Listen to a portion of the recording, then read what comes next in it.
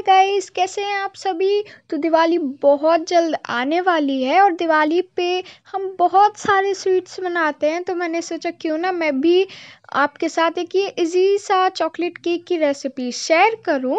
आप दिवाली में ये जो डेजर्ट है ना बना सकते हैं। आप चाहें तो बहुत ही आसान है और बहुत ही कम इंग्रेडिएंट में बन के भी है ना तैयार हो जाएगा। तो मैंने किया क्या है कि यहाँ पे मैंने बिस्किट लिए हैं, चोको चेकर्स वाले। आप अदर फ्लेवर के भी बिस्किट ले सकते हैं। उन्हें अच्छे से ग्राइंड करके थोड़ा थोड़ा सा मैं दूध ऐड कर रही हूँ और इसे अच्छे से हमें मिक्स करते जाना है। और ध्यान रखना है, इसमें लम्स ना पड़े, क्योंकि अगर लम्स नहीं पड़ेंगे ना तो जो केक का टेस्ट रहेगा बहुत ही टेस्टी लगेगा और केक भी बहुत फ्लफ़ी बनेगा। और जब बैटर बन गया है तो इसमें मैंने दो छोटी चम्मच इनो डाल दिया है। पहली बार का इस मैंने ना इनो का यूज़ किया है केक में। कभी भी मैंने इनो वाला केक नहीं ट्राई किया, हमेशा baking powder and baking soda ही डाला है बट आज ट्राई किया, इसका रिज़ल्ट बहुत अच्छा था।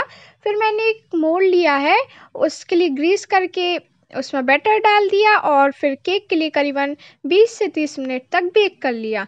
और फिर बेक होने के बाद केक के लिए ठंडा होने दिया और फिर इसे डिमोल्ड किया। और बस फिर मैंने केक के लिए थोड़ी सी चॉकलेट, मेल्टेड चॉकलेट और सिल्वर बॉल से डेकोरेट कर लिया। And cake is ready. For more recipe, subscribe and bye bye